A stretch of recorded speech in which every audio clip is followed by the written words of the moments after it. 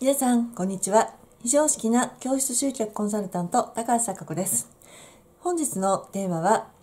成功の速度を速めたかったら、自己流よりも素直と実践力が大事になるということについてお話をしたいと思います。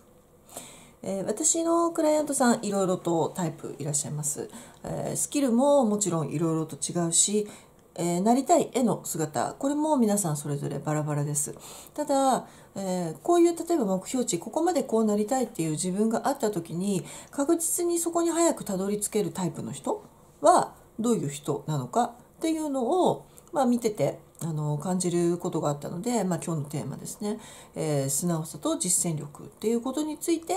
お話をしてみたいというふうに思っています。あのまずですね、えーとまあ、成功の速度っていうのは、まあ、自分が、ここまでこうしたいっていう目標値があった時にそこに早く到達するためにはという話なんですけれどもね、えーここにおいては、まあ、先にテーマの方に入っているように2つのポイント事項があるんですね。素直さとあと実践力です。でこの2つがじゃあどういうふうに関わってくるのかじゃあそうじゃないパターンはどういうふうになっていくのかっていうのを私が今まで見てきていて感じていることと、まあ、実際の生徒さんのその状態を、えー鑑みて振り返ってみて、えー解説をしていきたいと思います。えまずですね例えば私が何かあの、まあ、相談を受けますよねこういうような状態になりたいんですっていうのを聞くとするじゃないですか。じゃあそのためにまああの大きなまずベースの戦略は組みますよ。こういうふうにしていこうっていう大きな枠組みはまず組んでその上で戦術と呼ばれる、まあ、例えばツールを使うとか何かをやっていただくっていう、まあ、そういったことを提案するとするじゃないですか。例えばまあ、分かりやすく言うとブログ1日1個書いてくださいとか、えー YouTube1 日3本上げてくださいとかそういう話です。あのー遠い大きな目標っていうのは細分化した状態で気軽に実践できる項目まで落とし込んで実践チェックをしていかないと基本たどり着かないですよなかなか。でまあじゃあ例えば私の場合だと私のコンサルタントに5年前ですねどういうことを言われたかっていうと、え1年で1,000本あの YouTube 動画上げてくださいっていうのを言われました。えー1,000本。だいたい12ヶ月で割ると1ヶ月80本になります。1ヶ月80本っていうことはだいたい1日3本ペースが守れてればまあ90本になるはずなので土日関係なくですよ。それができればいける。それが1,000本っていう数字になります。で、まあ、この時にどう反応するかなんですけどね。あの私のじゃあ反応はちょっと置いておきます。えー、1,000本ね。高橋さん1,000本やってくださいって言われた時にまず反応その1え？1,000本ですか？いやそれはちょっと無理。というタイプが反応その1ですね。反応その2えっとそれは大変かもしれないけれどもやってみますどういうふうにしたらできますかねがその2ですね。その3はいわかりましたやりますこれその3ですね。はいあの大体想像つくかと思うんですけれどもどういう方がうまくいくかっていうのは3番の方ですよね。はいやりますですね。この方が一番当たり前ですけど早いんです。で、まあ、確かに「はいやります」って言ってからさて自分でどうしようかなって考えて割り算するとそういう感じだからそうするとじゃあ自分は朝3本例えばやろうかなとか。どういうふうにしたらできるかなって必死に思いを巡らして、ま、それでも難しかったらどどういう私はこういうふうに考えるんですけどどういうふうにやったらいいですかっていうのを尋ねるとね、まあ、またそういうのに対してコンサルタントから答えが出てくるわけですよ。で私も1,000本って言われた時にその当時、えーすごい一個一個すごい丁寧に作ってた1本1時間かけて編集してた人だったので80本無理とか思ったんですよ。あのだって80時間ですからね あの1日8時間を普通に仕事の時間と捉えたら8時間が10日取られちゃうっていうのは当時の私のお仕事の時間の組み方からしたらありえないっていう感じなのでということはその本数をやるためには私が速度を上げるしか方法がないなと思ったんです。しかも本来は1日3本っていうのが正しいいいなっていうのは知ってたとしてもまあ1年で1,000本って言われてるので1ヶ月でま80本やればいいわけですからその時にはどういうやり方が一番自分に合ってるのかなと時間のひねり出しとあと作業効率の良さから考えるとまあ例えば10本を8日かまあ20本を4日か30本を2日かっていう感じですね。はい。まあ私が当時やったのが10本8日っていうやり方をややった人でしたね。はい。あの動画って喋ってると乗ってくるのであの淡々とやる方が本当はあ例えば YouTube とかに評価されたり Google には評価されやすいんですけれども、まあ、時間がですねその動画に向かい合うってことはたくさん大量投稿した方っていうのはご存知と思うんですけれどもある程度こう動画に映ってる状態を保ちたいんですよね。例えばものすごい顔色が悪い状態とかボソボソ喋ってるとか元気がない状態とかであんまり動画に向かいたくないんですね。そうすると当然ですけど化粧もしてなきゃいけなかったりとかですね一応こう映るのに耐えられる格好パジャマで喋るわけにもいかないじゃないですか。っていうことでそれなりにこう準備が必要なんですよ多分女性は特に。で考えた場合には10本とかまとめて取っちゃった方が効率がいいんですよね。でまあ最後の方なんかはずれ込んで本数が足りなくなっちゃって、えー、12月にですね1月から始めたチャレンジだったんですけど12月に250本やらないと1,000本にならない状態になってしまってですね、えー、そそれでも私は1,000本にすることは諦めなかったので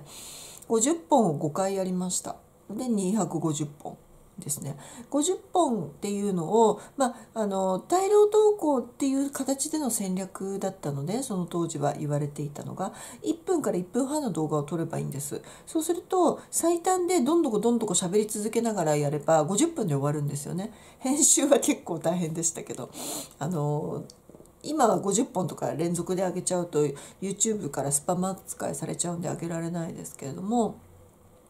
タイトルとかそういうものをつけてアップするっていう作業がまあ取った時間の4倍から5倍大体かかる感じではありましたけど、まあ、なんとかなんとか12月31日の23時40分ぐらいに終わった感じでしたけどね 終えましたよ。はい、しかもそういう時の限って12月っていうのは私の体調があの残念なことにですね熱を出したのが4日間と声が出なかったのが4日間ってあ取れ取りたいというのに稼働日が20日しかなくてその中の通常のお仕事が入ってる中のプラスアルファっていうことだったんで、まあ、かなり厳しい状態ではありましたけれども、まあ、それをやったんですね。で結局私その私のコンサルタントに1,000本っていうのを言われた時にあのあ分かりましたって言うしかないっていうか いや言われてるからやるっていうことですね。だからあの私のクライアントさんでもあじゃあこういうふうにこうしてみてくださいっていうのを言ってあの分かりましたって言って、まあ、やってみて例えば途中でなんかうまくいかないなどうかなって言って相談されるとかっていうのはある方いらっしゃいましたけれども傾向としては素直に受け入れてまずはやってみるっていうこの2つを同時にできる人はやっぱり成功の成功早いよねっていうのはほぼほぼ間違いないなっていうところですね。9大点的には2番です。一旦は受け入れるんだけどこう考えを巡らした上でえでもそれをやるには私ちょっとこういう状況で厳しそうなんでこういうふうにこういうふうにやったらできるどうやったらっていうのは、まあ、9大点2番目な感じなんですけどこの人のあのいいとこと悪いところはですねまあ、先にこう思い巡ってでできそうもないところをこう解消しようとしてその質問するっていうとこはね前向きでいい感じなんですよ。だけれども、えー、これっていうのは頭の中でしか考えてないことなんですね。あの実際に行動してないんですよ。どちらかっていうと行動して自分がそれを信じて行動した上で質問した方が身に落ちるし、えー、速度が自分の速度が分かるのでそれによってまた違う課題が見えてきたりとかするので本来は質問するにしても受け入れてやってみてから質問するっていう方が全然早いですよね。だから頭の中で巡らしていやそれはでもっていうふうにしてそれでもまあまだ頑張ろうと思って質問するのはしない人よりは全然いいです。だけれどもやってみてからの方がいいですね。だから2番の人はちょっと惜しい。で一番残念なのは3番の人です。あのそもそもやる前から「えそれちょっと無理です」っていう人いう方これすごいチャンスいっぱい逃します。なぜならば例えば私とそのクライアントさんの関係っていう部分においては、まあ、コンサルタントとクライアントになるわけで2人とも目標値があるわけですよね。えー、特に私はそのクライアントさんがこうなりたいっていう望みに対して最短最速効果的な方法を伝えるのが私の役割なんで結果にコミットメントしたいわけですよ基本は。とするとそれを本人が望むから私にアドバイスを求めるわけであってそれを私は最短の方法をお伝えするわけですよね。でそうすると「できません」って言うんだったら「うんじゃあどうすればいいんですか?」っていう話なんですよ。それは正しいのはやってみてからまだ言うっていうのはまだいいいいです。はい、でさらにもっと悪いのはですねまあ言わないその場では一旦言わないです。でなんとなくできるのかなどうしようとか思いながら行動もせずに時間が過ぎたとするじゃないですか1週間2週間3週間1ヶ月場合によってね2ヶ月とか分かりませんけどやらないで過ぎて。でその段階においてさらに違うアイデアを本人が思いついちゃったりとかするんですよね。そうするとこれって私は伝えてるのにそれをやりやらずにしてしかも頭の中で妄想してたり忘れちゃったりとかしていながら次のアイデアを思いついちゃってこれはやんなきゃいけないのは分かってるんですけどこれどうですかねって言ってくる人これはもう時間がかかりすぎるし迷走しやすいタイプですよね。あのもちろん変わったら変わったなりきにアドバイスはしますよ。するんですけれどもまたゼロからやり直しになりますよね。ゼロの状態でアドバイスするから。でしかもそれを言ってもやるかどうかまたそのそういうタイプの人はやらない可能性がすごい高いんですよ。そうするとどういうことになるかっていうと脳内でぐるぐる考えていやこれじゃないかないやこっちの方が思いついてまた私がアドバイスしてるのにまたぐるぐるぐるぐるぐるぐる考えちゃってやらない。やらないんですよ。結局だからやらないから前に進まないんですよ。だから結局その自己流っていうのはですねまあ、スポーツの世界でも何でもそうと思うんですけどまずコーチとかその先人の達人がですね言っていることをやった上で型を変えるとかそれやっぱ基本セオリーですよね。だから私がこういう形でどうですかって言ったらまずはやってみていやそしたらこういうの思いついちゃったんでこうしたいんですけどどうですかって言ったらやるみたいな。素直さと実践力が同時にセットでついてこない場合には速度がすごく遅くなる。っていうのは感じてます。でそれは私がクライアントさんを見ててもそうだし、えー、私があの今サックスチャレンジとかやっていてサックスを先生に習ってるわけなんですけれども、えー、いろんなことをアドバイスしてくださる方いるんです音楽関係とかにあの長けてる方とかそういうものを知ってる方とかが。ありがたいことにいろいろアドバイスをくださるわけなんですけれどもそのアドバイスはあの一旦受け入れます。そしてあのやってみます。そしてフィードバックを返してこうだったよっていうことを言うっていうのをやるんですね。あの分からないんですよ。私はだってやったことがない世界の領域でこうしたらいいよってアドバイスをくれるわけなのでやってみないと分かんないんですよね。その後です自己流の提案をするっていうのは。例えば私で言うとそうですね。うん。サックスなんでこう持った時のストラップの長さとかの調整とかがあるんですけど本当はこれぐらいの長さでこうやった時にこういうセットアップでこれがいいよでまっすぐ立った状態でとかっていうのを言われたり、まあ、ちょっと斜めにね抱えるんだったら少しその分も余力を見てとか、まあ、いろいろ抱え方の基本とかを教えてもらって、まあ、その中でこれかなっていうのを採用するんですけれどもでそれを採用してやってみてそれでもなんかしっくりこないあ指が下の方がやりにくくてうまく回らないなこれはどうかなっていうのをやった上で先生にまた聞きますねこういう姿勢でこうやると指が楽なのでこういうふうに拭きたいんですけどどうですかって言って言われたのをやった上でアレンジしたのをやって伝える？そうするとああのー、その形の方が音は確かによく綺麗に出てますねそっち大丈夫ですよっていう話になったりとかっていうので、えー、抱え方とかスタイルの調整とかをしていったりとか。で本当はこういうふうに拭きたいんですけどとかっていうとまた違う形でのやり方とか唇の形とかですねそういうものを教えてもらったりとかして修正と調整を繰り返していくとその都度都度課題が出てくるのであの先生が言ったことをまずはやるんですね。でやった上でさらにもうちょっとこうしたいかなこれってどうかなっていうのをフィードバックするそれでうまくなっていくっていうのをやるのでこれは楽器だろうと多分何だろうと一緒だろうなと思う自己流でやっぱりやる人の方があの成長が遅いとかってやっぱ型ってありますよね。舞踊もそうなんでしょうけどこう踊る方の舞踊とかも基本型があって、えー、とバレエ私バトンやってたのでバレエとかもあの少し組み込まれてレッスンに組み込まれてあのこういうトーシューで立つとはできないですよこう1番とか2番とか3番とかこう足チャッチャッチャってやるやつとかその時もどういう姿勢でこういう角度でとかでここをなるべく長く見せるようにこういう感じでとかっていう姿勢から何からやっぱ整えていくわけなんですけど。やっぱそれって基本の形はどうしてもありますよね。だからビジネスも何でも一緒でですねあの先人の知恵があるわけですよね。でそれをまずはやってみる。でこのやってみる時にその事業環境とですね相手にしたいお客様っていうのが各々個人個人に違うんですよね。だから一番多分成功確率が高いだろうなっていうことを私も伝えるんですけれどもあのお客様がどう反応するかはその業界領域でその人がやってみないとわからないっていうのが本当の答えなんです。だからやってみてもらわないとわからないんです。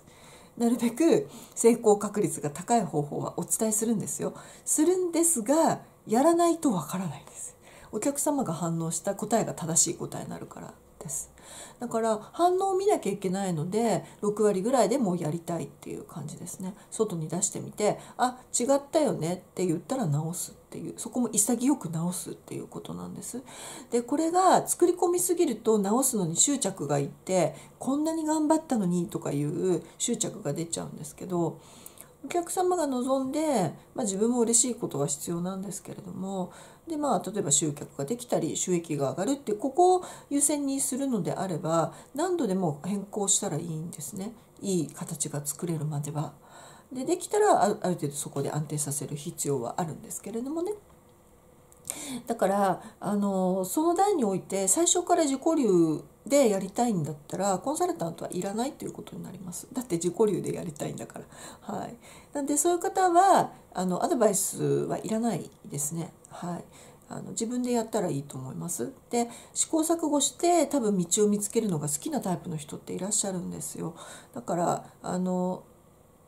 私はコンサルっていう立場で今お話をしてるし誰かの知恵を借りるっていうことは、まあ、その人の時間を奪ってお話を聞いてるわけですよね。で私の場合には時間を奪われても対価お金をもらってるからいいですけれども親切にあなたのその夢にね付き合ってくれてアドバイスをしてくれる人がいた場合にはその人の時間を奪ってることになりますからそれに対する恩返しは何なのかって言ったら一旦はやってみるっていうのが恩返しになるんじゃないですかね。あの自分流でそれでも行きたいんだったら あのそもそもアドバイス求めない方がいいですよ。でもちろん無償での愛っていうことでね友人とかあのそういう人にアドバイスを求めた時には、まあ、親身に思ってくれてやるこんなんどうって言ってくれたのを採用しなくても別に何ら何とも言わないっていう人もいると思うんですけれども、まあ、その辺りはちょっとビジネスの方での世界と友人関係とはまた少し違うんだろうなっていうふうに思ってます。だから結局何が正解を決めるかっていうと世の中に出して初めてお客様が支持したらそれが正解になるっていうそんな感じですビジネスの場合には。だから自分が頭の中でどんなにいいものって思っててきっとこれがいいに違いないと思っても外に出さなくてはそれがいいサービスなのかどうなのかはさっぱりわからないっていうことを理解した場合にはやっぱり素直にサクッと実践してしまうっていうのがどう考えても早いなというふうに思ったので。あの誰かそういうあなたのことをね本当に思って授業が伸びるようにってアドバイスを誰かがしてくれた場合にはまあまず素直に実践するっていうこれが大事だなと思います。その後です自己流の考えを上乗せしてまた修正と調整繰り返すっていうのは。なんでもし今助言をしてくださる方とかあなたの周りにいたとして、まあ、その人が言うことがありだよねって思うのであればまずは動いてみる。で動いた結果こうだったよって言ってみるそしてまた変えていくみたいなその繰り返しの速度が速ければ速いほど、え仕上がりが速いっていうイメージがあるのでそんな考え方をご参考にしてみていただければと思います。それでは